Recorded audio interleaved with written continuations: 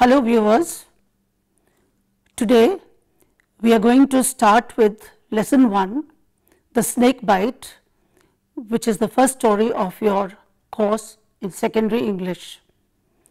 Uh, this story has been taken from the collection of stories Life with Grandfather written by the famous story writer Shankar Pillai.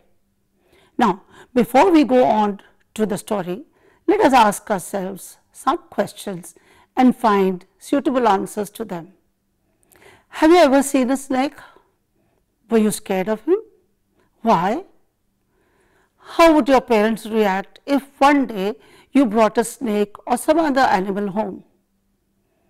Have you ever visited a village? What is the general lifestyle of people living there? Do you find most people educated? Are there good hospitals and doctors? Imagine living in a village many years ago when most people were uneducated and there were hardly any facilities that we get to see in towns today. They had no doctors nor any hospitals. What could people do when someone was unwell or needed immediate first aid? They often went to Veds or quacks as we call them, who pretended to know how to cure most ailments. There were specialists who claimed they could remove poison from the body of a person bitten by a poisonous creature like snakes and scorpions, which are a common sight in remote villages. Another question that strikes us, how does illiteracy and ignorance become a bane? People in villages remain ignorant of most things with the result they become easy targets for cunning people to fool them. They are vulnerable targets and are prone to becoming superstitious. Another question which comes to mind is this Are all snakes poisonous? No, they are not. But since most of us cannot differentiate between the poisonous from the non poisonous, we tend to believe that all snakes are poisonous. Now, how do animals react when they sense danger? They either retreat into a safe hiding place or else attack in self defense. What happens when you take decisions in panic? Uh, I am sure you know we often tend to take wrong decisions. Now, this means that when there is an emergency, we must keep our heads on our shoulders and think clearly and rationally. Let us go through the gist of the story in short. This is a fascinating story about an orphan boy, Raja, who was brought up in a Kerala home by his grandparents. The story is told in first person. Raja was an orphan boy brought up by his grandparents as I said just now. These grandparents doted on him and took extraordinary care of him. Raja, like any other boy of his age, was very naughty. He was fond of playing pranks and also loved playing with all sorts of insects and creatures.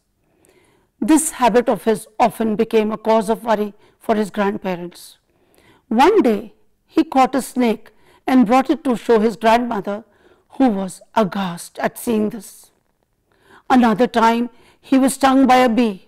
He cried in pain and went to his grandmother for help. Before he could tell what happened, she concluded that it was a snake bite. The grandfather panicked. Without wasting any time, he rushed him to a snake doctor. Uh, now let's read the story to find other interesting details.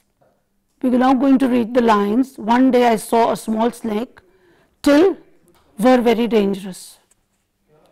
Raja was a young boy. He lived with his grandparents in a village. Raja was very naughty. He loved playing with all kinds of insects and animals. His grandparents were very concerned about his safety. One day, while playing in the compound, he happened to see a snake. He was excited. He quietly approached the snake. Seeing him come towards him, the snake retreated and hid in a small coconut shell that was lying there. Raja grew even more excited. He did not want to lose this opportunity. He at once covered the coconut shell with a big stone and carried the snake to his grandmother.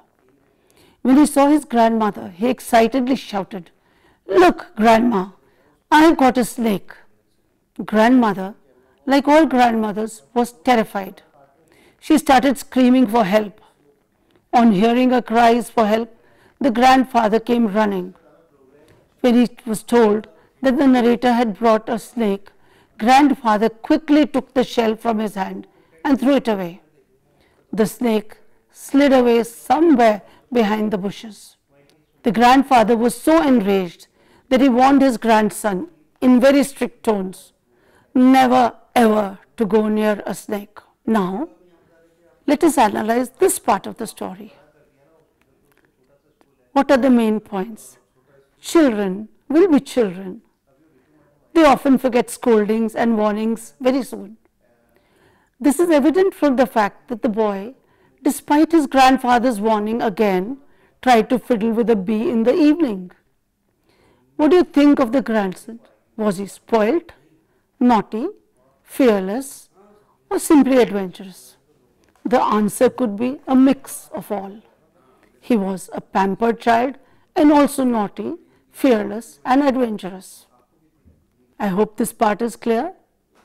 Let's go on to the next part, that is 1.2 of the story. Read the lines later in the evening till lived there. What is there in this part of the story?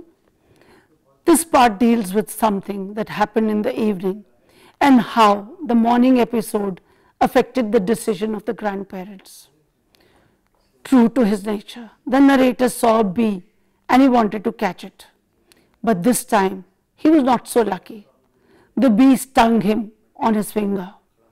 The narrator felt a sharp pain and went running to his grandmother again. He told her that he was bitten and requested her to do something to relieve him of the pain. He could not complete his sentence that he was bitten by a bee.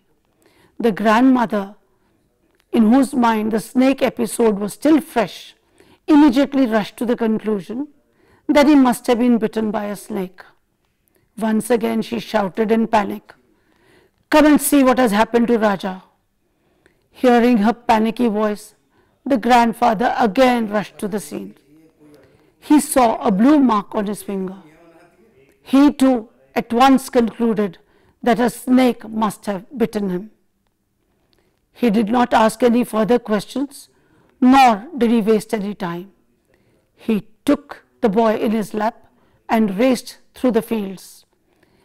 He stopped only when he reached a particular hut and shouted for the man who lived there. All this time, the boy could not understand what was happening. He looked confused and dazed. What made the grandparents think their grandson must have been bitten by a snake? For something to think of. Were they right in thinking so?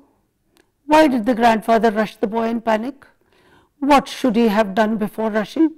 Where do you think the grandfather took his grandson? Let's discuss the last part of the story. From the line, a grey haired man came out of the house till grandfather sent him gifts.